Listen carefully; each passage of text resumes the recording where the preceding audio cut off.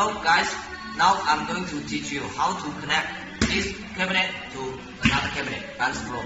Okay, step one, step one. As you can see here is the sil silver box. It means power supply and this black box means signal LED controller. Okay, we find these cables. This is male cables and this is the female cables. Black connect to black. And lock it this the signal cable white connect to white. Also the same male female connect and lock it.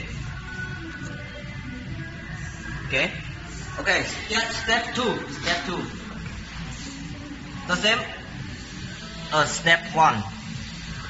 One connect to one. Black connect to black and white connect to white. Connect. Lock.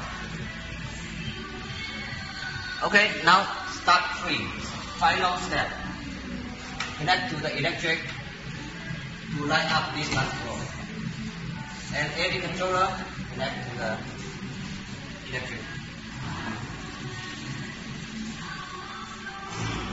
Okay?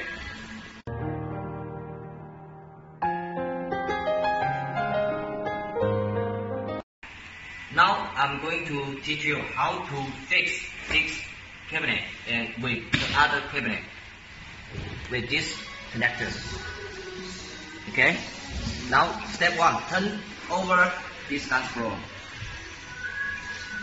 As you can see, this have two holes here.